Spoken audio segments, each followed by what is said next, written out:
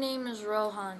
I am from New Jersey, and this International Women's Day, I am going to be rising for Soni Sori. Happy International Women's Day.